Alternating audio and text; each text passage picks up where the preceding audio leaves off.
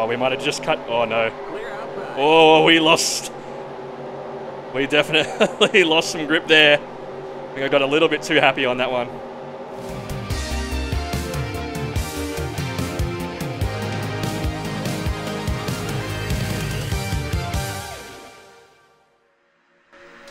Before we get into the video, if you enjoy my videos, it would help me out heaps if you consider clicking the like button and subscribing. Remember to also enable notifications so you know when new videos are up. Also, if you're looking for any Fanatec gear and would like to support the channel, check out the description below for my affiliate links that give me a small commission on every sale. There's also a link below in the description to our Discord server. We've got a bunch of great people in there already, but we could always do with a few more, so anyone's welcome. If you want to join, check out the link below. Now, that's enough of the generic YouTuber talk, let's get into the video. G'day everyone, it's Lockdown Haircut Nick here, and it's finally happening. We are playing NASCAR 2003. Now, um, about a month or so ago, I did a video on Live for Speed, which is an early 2000s sim racing game with a bit of a cult following. Um, and a lot of you guys in the comments of that video and some of my other videos have said that I should try out NASCAR 2003. So I got my hands on a copy, and after much effort in setting up my wheel, for the longest time, my H pattern shifter would just not work. All of a sudden today, it has decided to work. So we've got everything mapped out. If we go to the options screen, everything is mapped and working as I want it to. We're not going to touch anything in there, but um, everything's maxed out on graphics, of course, given it's a 2003 game. Um, but something you might not know, although a lot of people do, is that this is the uh, the game that a lot of code in iRacing comes from. So um, you might notice some similarities in iRacing to this. Uh, iRacing, I believe, released in 2008 uh, and took a lot of cues and a lot of code from this. I don't think it still does use a lot of that code. I think it's gone well beyond that. But when we get into the game, you'll see that there are some similarities in the UI and the general feel of the game. Okay, so we are at Daytona. We're getting told to go to our cars, apparently. but uh, we're at Daytona. We're going to do a race, 20 laps, and just try this game out don't want to go into too huge detail about um, all the different ins and outs of this. I'm still learning a lot, and I know that the community out there uh, can be quite devoted to this, so I don't really want to go in too much detail and potentially get things wrong. I'm still learning. If you have any tips and things that I should try, I know there's heaps of mods available for this as well. So um, please let me know if there's things that are worth having a go at. I just want to jump in today and try a race just to see how I think and what I know, what it's like, um, and just overall what things were like back in 2003 and how they compare today. So let's get stuck into the race and see what happens. And here we go.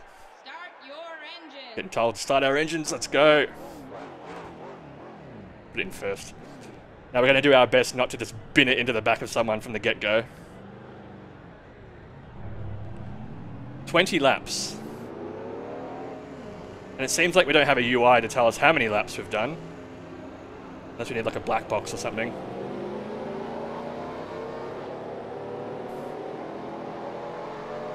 But you can probably tell just from how this looks even now.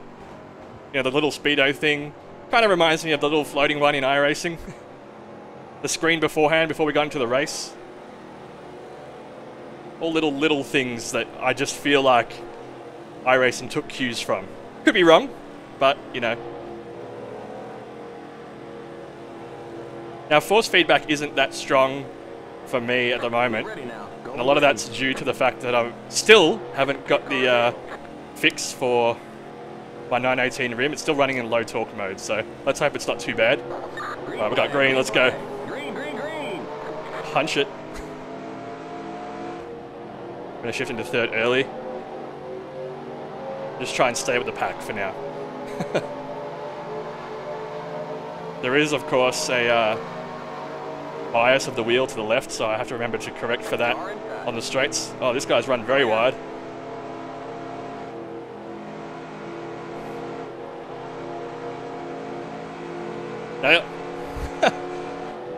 This is actually quite impressive. For 2003,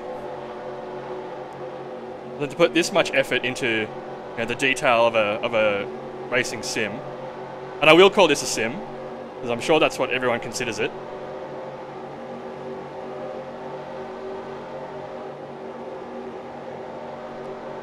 But of course, definitely getting some uh, some iRacing ovals vibes here.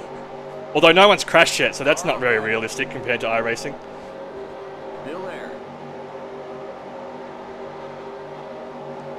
It will be interesting to see how. I know we are on a uh, on a super speedway, but how tire wear is affected, etc. Force feedback doesn't feel terrible. It's definitely there. I would like to try it on high torque mode, but I can't at the moment until my until Fanatec releases a firmware update to fix that problem.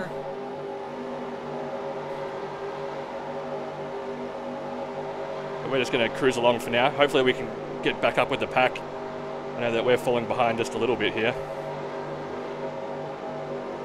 I might be able to go wide. If he doesn't defend, no. We can take that spot. Nice. We're going to have to stay up high though. But we might be able to rejoin the pack. Oh boy. Had to lift for a second there. Didn't know where he was going. Clear outside. Uh, Got a decent spotter as well. It's not annoying. Sounds very American. Classic NASCAR. but this is good. I know that there are like some high resolution texture pack mods and you know updated liveries and even updated cars, I believe. Um, but I kind of wanted just to try this first in its rawest form, if that's one way of putting it. I did have to download a couple of patches uh, to make this work properly. Um, there was a very comprehensive guide that I found um,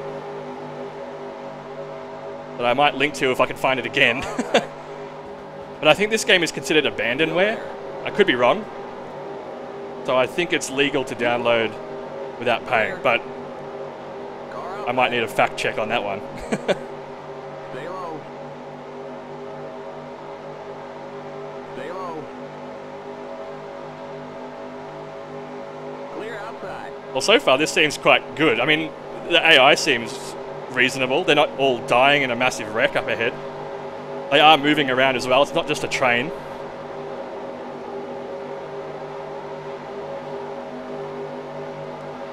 Alright, we've got some speed on this guy in front now. We are going to have to lift just a little bit to stay behind.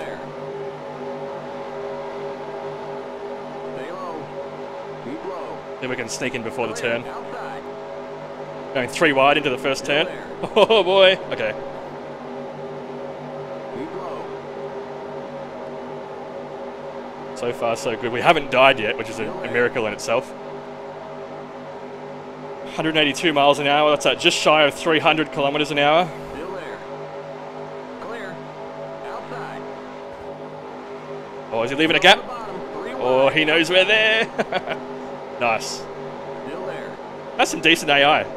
I was right in his like rear quarter, and he backed off. Some other uh, Sims wouldn't necessarily do that. They might just fly into you.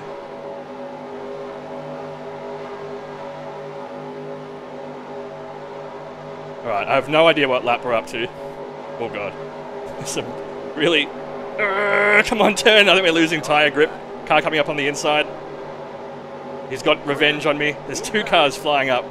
Ah, that cost us big time. We lost a lot of speed. Alright, we're gonna have to stay on the high side for now. Seems like it's actually quite a challenge to get up through the pack. I mean, we've only got 20 laps, so it's not like you can be that patient.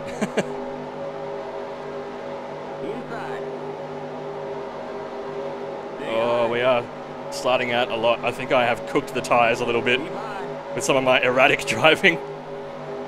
Clear Alright, we're clear inside. Let's go back on the inside, block that guy off.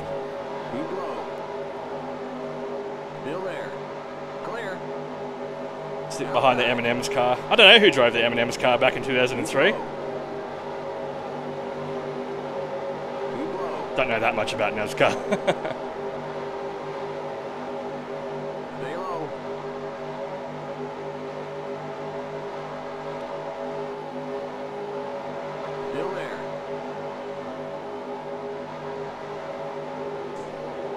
My top monitor just decided to turn itself off randomly. Okay. can't handle the extremeness of NASCAR 2003. It's alright. I've got to remain focused.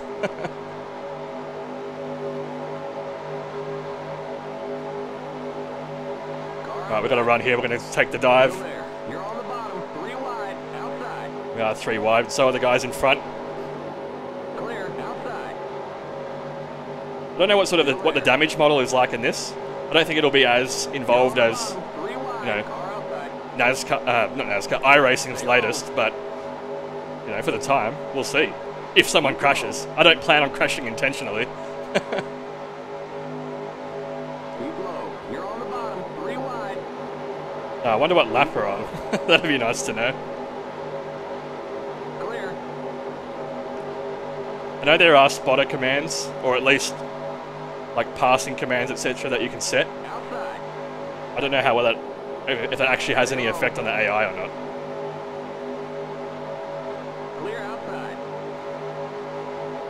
We are making some gains here though. We are moving slowly up. Well, I've got to defend on the inside. No. That was bad.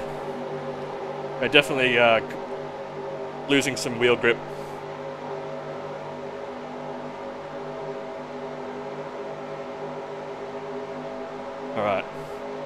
Car stay in front? What can Brown do for you? Hopefully he can get out of my way and let me pass him. Oh, the Viagra mobile there.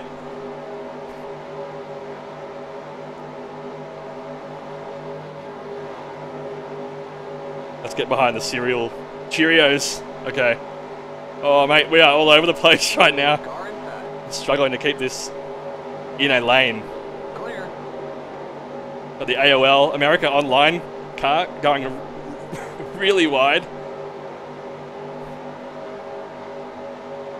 Falling out, if you will. It's a bit of a sign of things to come for AOL. Back in 2003, anyway. Still there. Clear inside. Oh man. the car's doing all sorts of things now. It's a bit unpredictable. This is good. I'm actually quite impressed. A game from 2003 running very nicely We got just 10 in Windows 10. Keep high. They say 10 laps to go. Okay. In Windows 10 with a DD1, modern controls, no problem. Besides the amount of time it took for my shifter to work, but I don't know if that was just me doing something wrong or not. Maybe the latest Fanatec drivers did something. Who's to know? All I know is that they work. Clear. I'm gonna cut across this guy. Obviously, I have no idea how to like properly drive ovals. Three. Oh, being a bit of a tap. On the bottom. Three wide. Car outside. Still there. You're on the bottom. Three wide. Outside. Oh, we are sliding out. Bottom, Three wide. We're getting nudged as well. It's, it's gonna get a bit intense, I think. There may be a slight dead dead spot in the wheel. I don't know. Hard to say. I feel like I need to steer a little bit in advance of the corner. Make sure it stays in the lane. But don't know. It's a Goodwrench car.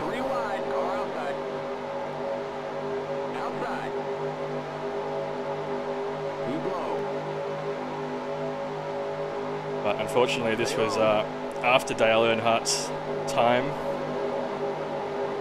Still there. And we're really copping the uh, the advertisement for this Viagra in front. Don't uh, don't need that one, thanks, mate.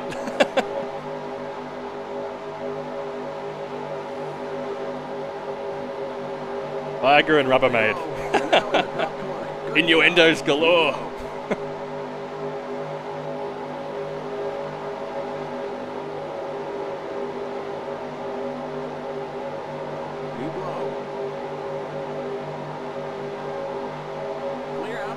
All right. I have no idea what position we're in. We have gained a fair few. There is a bit of a, a train behind us. Keep low. You're on the bottom. Three wide. Hold your line. Car outside. Keep low. I think I would prefer a little bit stronger force feedback. Still there. It does feel a little loose, but can't really complain. It's still more than drivable.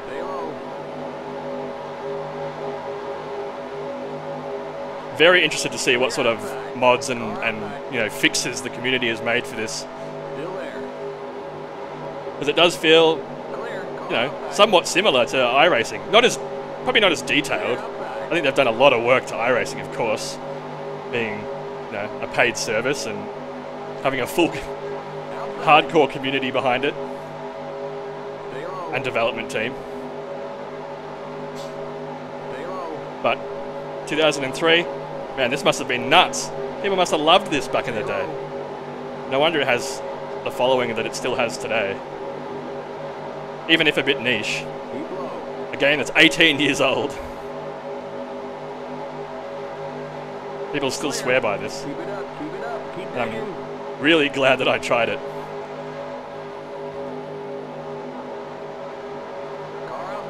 Oh, we might have just cut. Oh no. Oh, we lost. We definitely lost some grip there. I think I got a little bit too happy on that one. Oh, that's what that, that might cost us. The guys behind are going to gain some speed off that. Whew. Don't know when we're going to get the white flag. We have to wait and see.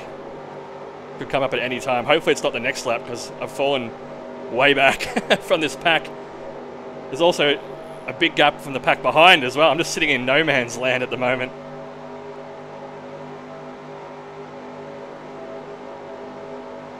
Just five more to go. Five laps, okay. We are gaining on these guys, which is good. Gotta make sure that I don't slide out wide. That's what cost me all that speed last time. I guess given that I'm between packs right now, I do have the ability to sit wide and ease into the turn, but I'm a little bit worried that my tyres just going to lose grip.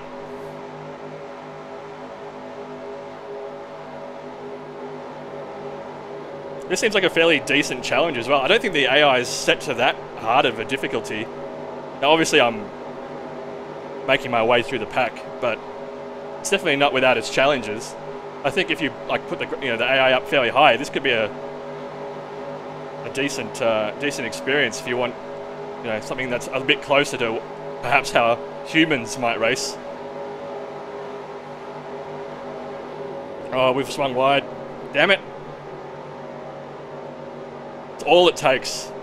You know, people give oval racing a bad rap sometimes and say that, oh, it's just turning left, but the smallest mistake can cost you so much in this.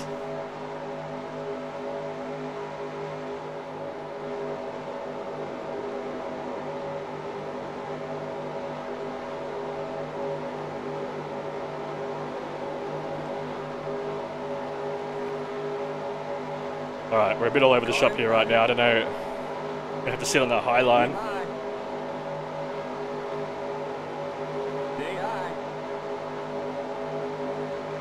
A gap.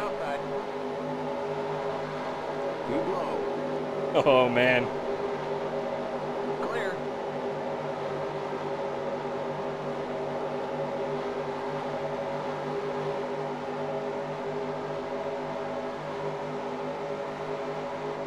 Really focusing hard right now. Inside. Clear.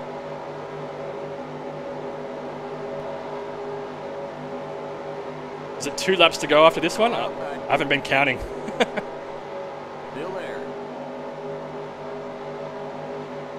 Even small details like the windscreen getting dirty, like that, that's something that would have been pretty cool for 2003, I'm sure.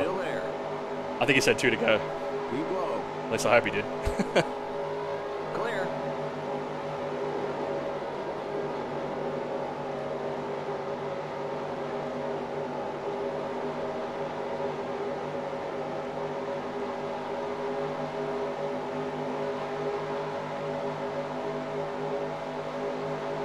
oh boy.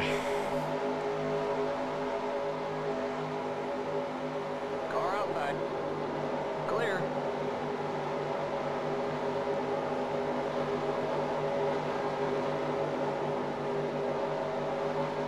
Alright, I think we're coming up on the final lap now. Yep, white flag has just come out.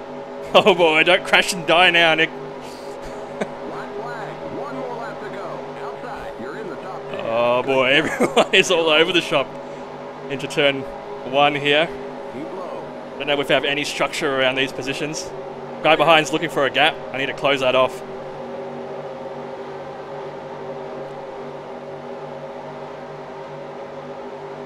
I wonder if there'll be a wreck ahead as well. Who knows how the AI reacts on the final lap.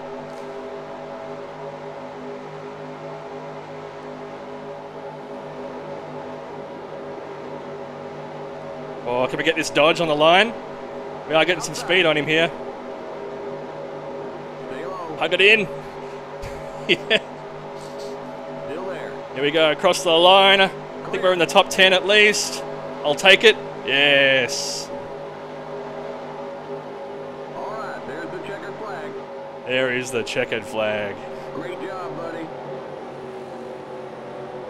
And that's a very similar voice line to what the iRacing uh, spotter says, except with an Australian accent. nice. Man, what an experience. That was actually really cool. I'm, I'm, I'm chuffed. It's a lot of fun.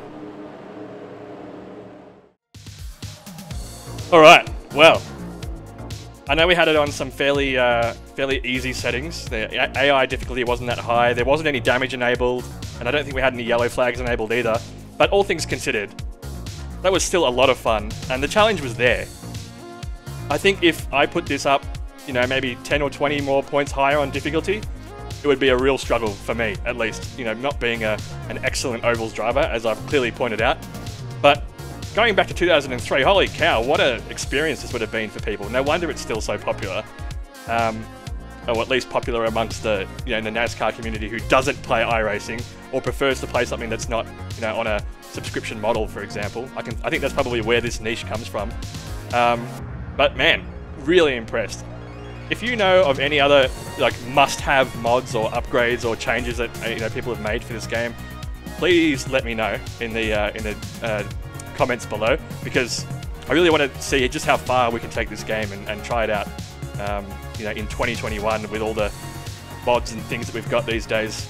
So if you liked the video, uh, please click the like button and hit subscribe, and leave a comment below, as I said, on any other mods and changes that you might like to see me have a go with, or any other classic sims that I should try.